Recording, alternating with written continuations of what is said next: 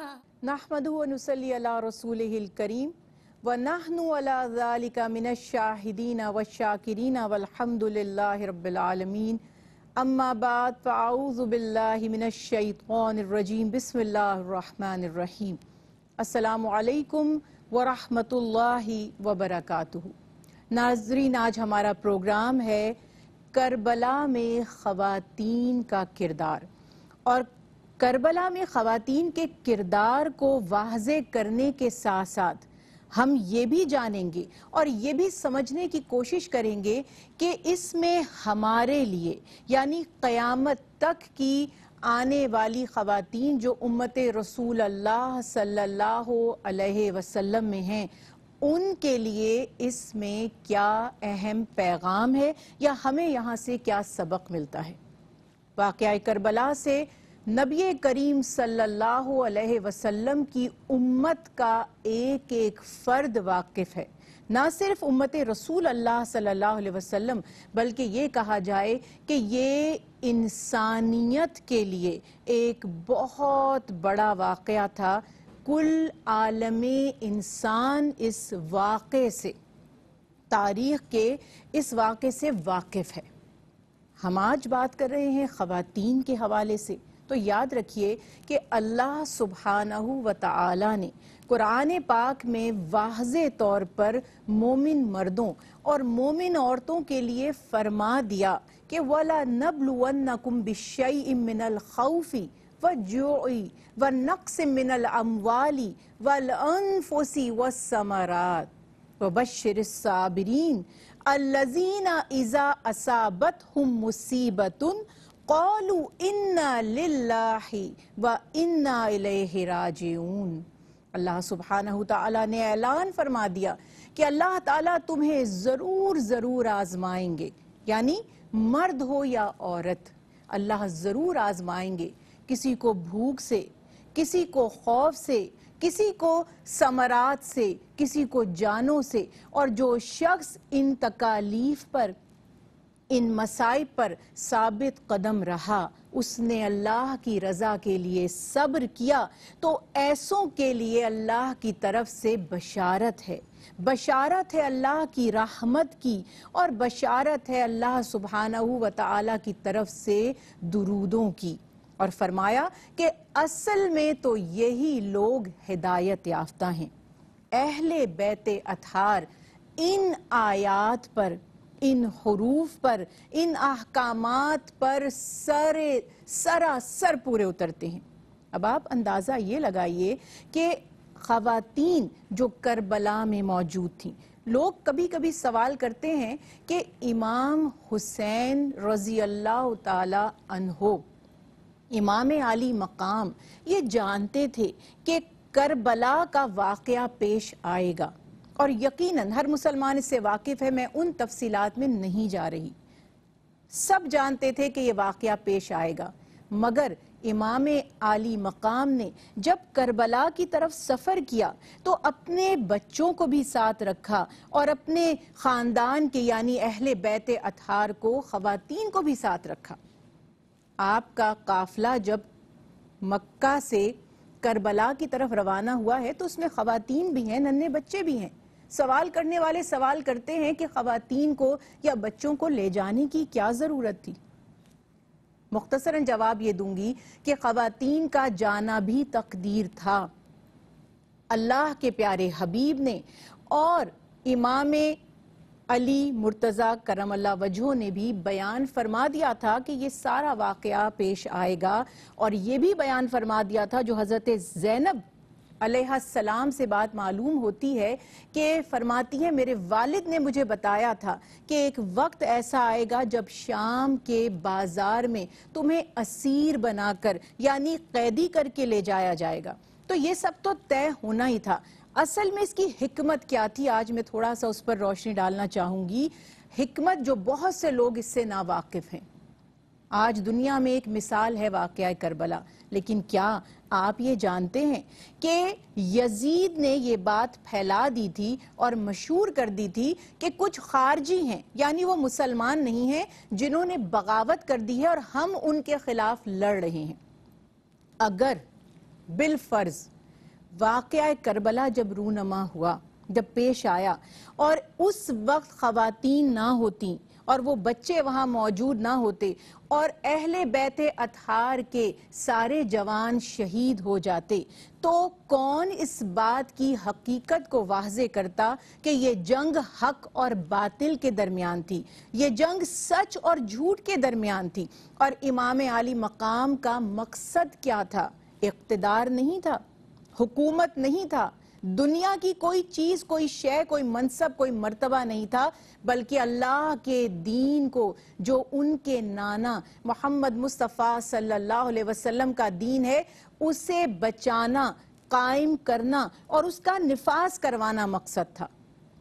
ये खातन हैं जिन्होंने वापस आकर लोगों को वाक़े की हकीकत बताई। इस पस मंज़र को बयान करने के साथ, चूँकि वक्त हमारे पास बहुत मुख्तर है, मैं बहुत इख्तसार के साथ अब आपको बताऊँ कि जैसे इकबाल ने भी अपनी शायरी में बयान किया कि तारीख रकम की है हज़रत हुसैन ने। तारीख हज़रत हुसैन ने रकम की इमाम आली मकाम ने रज़ी अल्लाह ने, कि करबला के वाक़े के बाद इस्लाम को ज़िंदा कर दिया। और सैयदा जैनब, जो हज़रत इमाम हुसैन की प्यारी बहन हैं। उन्होंने नाम हुसैन और मकसद हुसैन को ज़िंदा किया। इमाम आली मकाम के नाम को ज़िंदा रखा, उस मकसद को बाकी रखा। करबला में, मैदान करबला में, जब सब शहीद कर दिए गए तो ये हज़रत बीबी जैनब थी, जो हज़रत अली की दुख्तर हैं, जो हज़रत फातमा तो जहरा की प्यारी बेटी हैं जिन्होंने डट कर यजीद की फौज का मुकाबला भी किया और तमाम अहले बैत अथार की जो खातन थी और जो बच्चे थे, उनकी हिफाजत के लिए और उनकी हौसला अफजाई के लिए सीसा पिलाई हुई दीवार की मानद खड़ी हो गई। आपके खानदान में से, इमाम आली मकाम के खानदान में से सिर्फ़ एक मर्द इमाम जैनुल आबदीन हयात रहे, जो वाक़ करबला में मौजूद थे और उनको जब फौज यजीद कत्ल करने आती है तो हज़रत बीबी जैनब खड़ी हो जाती हैं कि पहले मुझे कत्ल करो, अगर तुम इस नौजवान को कत्ल करना चाहते हो।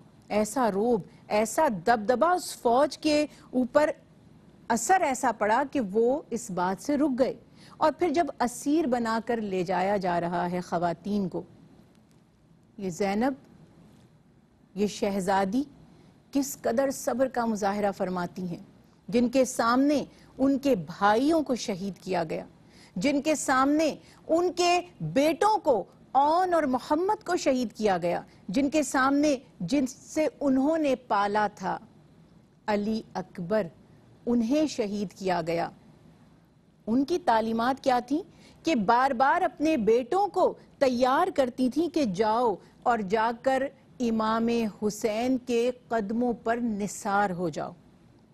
बहुत अजीम वाकयात हैं।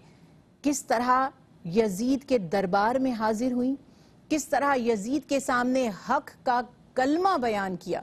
आपका अजीम खुतबा जो तारीख में आज भी महफूज है, जिसने यजीद की ताकत को यजीद के दबदबे को बिल्कुल खाक में मिला दिया। उसकी असलियत लोगों के सामने वाजे कर दी। ये उनका मकाम है।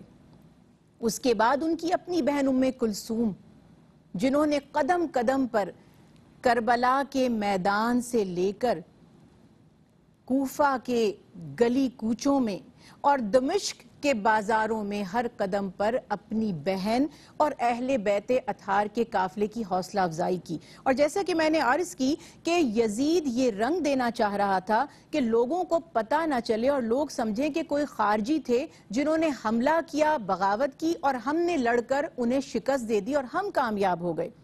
हज़रत उम्मे कुलसूम की मारफत देखिए, आपकी हिकमत अमली देखिए कि अहले बैत अथार के बच्चों और खातन से फरमाती हैं कि जिस जिस शहर में हमें ले जाया जाएगा, हम वहाँ पर कुरान पाक की बाआवाज बुलंद तिलावत करेंगे, ताकि लोग ये जान लें कि हम खारजी नहीं हैं, हम मुसलमान हैं। यानी ऐसी उम्दा तिलावत, ऐसा उम्दा लबो लहजा तो अरब के किसी आला खानदान का ही हो सकता है। तो वो जो एक प्लानिंग थी, वो जो एक साजिश थी, जिसका रंग यजीद और उसकी फौज देने की कोशिश कर रही थी, इस वाक़े को वो एक्सपोज हुआ। वो लोगों के सामने आया हुआ। लोगों ने जाना कि ये कोई खारजी नहीं है, ये कोई बागियों का गिरोह नहीं है, बल्कि ये घराना मुस्तफ़ा है, सल्लल्लाहु अलैहि वसल्लम, जिनके लिए आपने फरमाया कि ये मेरी इतरत है, जो तुम्हारे लिए रहती दुनिया तक हिदायत का सामान है। इसी तरह से इमाम हुसैन रज़ी अल्लाह तहो इमाम आली मकाम की जोजा, हज़रत लैला, जिनके बेटे हज़रत अली अकबर शहीद हुए।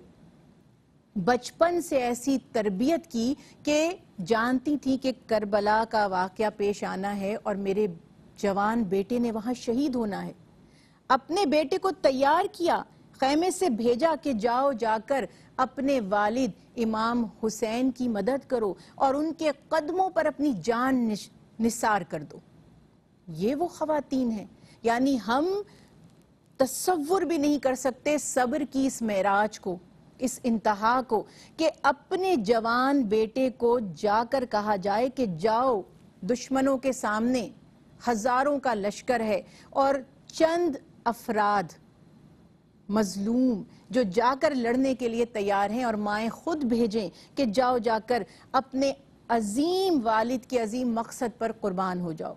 इसी तरह आप यानी इमाम आली मकाम की जोजा, हज़रत उम्म रबाब, जिनकी दो औलादें ख़ास तौर पे सब मुसलमान वाकिफ़ हैं, हज़रत अली असगर और हज़रत बीबी सकीना, आप शहजादी कौनैन हैं, मासूम बच्ची हैं।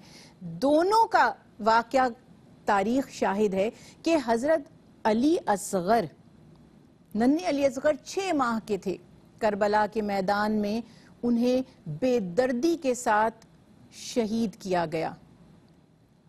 आपने कोई शिकवा नहीं किया। हज़रत उम्र रुबाब सब्र और रजा की पैकर बन गई और हज़रत इमाम आली मकाम पर अपने बच्चों को भी कुर्बान कर दिया। हज़रत इमाम अली मकाम की भी शहादत हो गई। फिर जब काफिला चला और दमिश्क में जंदान में कैद किया गया तो बीबी सकीना भी मसाइब, तकालीफ और गम को ना सहते हुए और अपने वालिद हज़रत इमाम हुसैन की जुदाई को बर्दाश्त ना करते हुए अपने वालिद खाली के हकीकी से अपने वालिद के पास जन्नतफिरदौस में पहुँच गई जा मिली अल्लाह ताला से। अब अगर देखा जाए तो उम्मे रुबाब का पूरा घराना अल्लाह के दीन पर कुर्बान हो गया। मगर कोई शिकवा ज़ुबान पर नहीं है, कोई शिकायत नहीं है।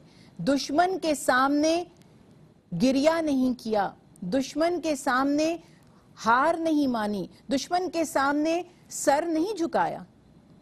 कितनी अजीम मिसाल है ये। एक और खातून है, हज़रत फरवा, जो हज़रत इमाम हसन रज़ी अल्लाह तहो की जोजा हैं। ज़रा गौर कीजिए कि आपके बेटे हैं हज़रत कासिम, जो करबला में शहीद हुए। तस्वुर करने वाले और गौर फ़िक्र करने वाले इस वाक़े से बहुत कुछ सीखते हैं कि किस तरह एक वालिदा अपने जवान बेटे को पेश करती हैं, कि इन्हें भी जंग में, इन्हें भी जिहाद में शामिल करें। हुआ कुछ इस तरह से कि जब बार बार हज़रत कासिम तशरीफ़ ला रहे थे और हज़रत इमाम हुसैन अली मकाम से ये गुजारिश कर रहे थे कि मुझे भी मैदान में जाने दीजिए, मुझे भी यजीदी फौज से लड़ने दीजिए तो उनकी कम उम्री की वजह से हज़रत इमाम हुसैन रज़ी अल्लाह तहो उन्हें मना फरमा रहे थे कि आप ना जाएँ। तो फिर उस मौके पर हज़रत फरवा तशरीफ़ लाती हैं और आकर हज़रत इमाम हुसैन से गुजारिश करती हैं, दरख्वास्त करती हैं कि मेरे बेटे को इस दीन पर और अपने कदमों पर निसार होने दीजिए, उसे इजाज़त दे दीजिए कि वो जिहाद में जाए। तो हज़रत इमाम हुसैन रज़ी अल्लाह तु ने इजाज़त दे दी। और हज़रत कासिम मैदान करबला में शहीद हुए। ये कैसी माएँ हैं? आज हम अपने बच्चे को थोड़ी सी तकलीफ़ में नहीं देख सकते।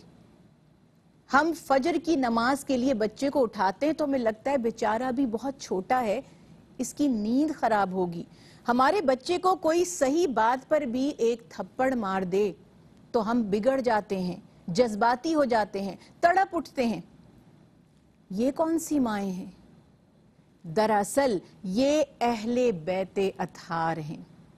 इन्होंने दीन को कायम रखा, इन्होंने दीन को फैलाया। इसीलिए आप सल्लल्लाहु अलैहि वसल्लम ने फरमाया ना कि तुम्हारे दरमियान दो चीज़ें छोड़कर जा रहा हूँ, सही बुखारी में। हम ये हदीस मुबारक तो सुनते ही रहते हैं कि अल्लाह की किताब और मेरी सुन्नत। और ये हदीस मुबारक भी है कि अल्लाह की किताब और मेरी इतरत। ये मिसाली खातन हमने चंद खवातीन का तस्करा किया, चूँकि वक्त बहुत मुख्तसर है, लेकिन करबला के मैदान में तमाम की तमाम खातन सब्र इस्तकलाल का एक जीता जागता मिसाली नमूना थी। किस तरह से पैगाम हुसैन रज़ी अल्लाह तहों को आगे फैलाया? कैसे करबला में होने वाले वाकयात को बयान किया? और किस तरह से इस हकीकत को वाजे किया? आखिर में बस यही कहना चाहूँगी कि ये अजीम कुर्बानी, ये सब्र, ये इस्तकलाल, ये हिम्मत, ये बर्दाश्त हमारे लिए अमली नमूना होना चाहिए। हमें भी सीखना है। हमें भी दुआ करनी है अल्लाह से कि अल्लाह सुबहाना ताला हमें इन बीबियों के नक्शे कदम पर चलने की तौफीक अता फरमाए। अल्लाह इन बीबियों के सदके हमारी दुनिया और आखिरत को सवार दे, हमारे गुनाहों को बख्श दे और हमें भी इस तौर पर अपने बच्चों की तरबियत करने की तौफीक अता फरमाए कि कयामत के दिन हम अल्लाह के हबीब और अहले बैत अतहार और खसूसन इन मुबारक, इन पाकिज़ा बीबियों के सामने रसवाई से बचे रहें और सुरखरू हो सकें। याद रखिए कि यही वो मकसद है जिसे हमें अपने बच्चों को भी बताना है और सिखाना है और ख़ुद भी इस पर गौर व फ़िक्र करने की कोशिश करनी है। अल्लाह सुबहाना ताला हमारे दिलों में अपनी, अपने हबीब और अहल बैत की मोहब्बत पैदा फरमाए और हमें अहल बैत अतहार के कदमों की खाक समझ कर कबूल फरमा ले और उनके अमाल पर, उनके जैसे अमाल करने की तोफ़ी अता फरमाए। वमा अलना इल्लल बलागुल मुबीन।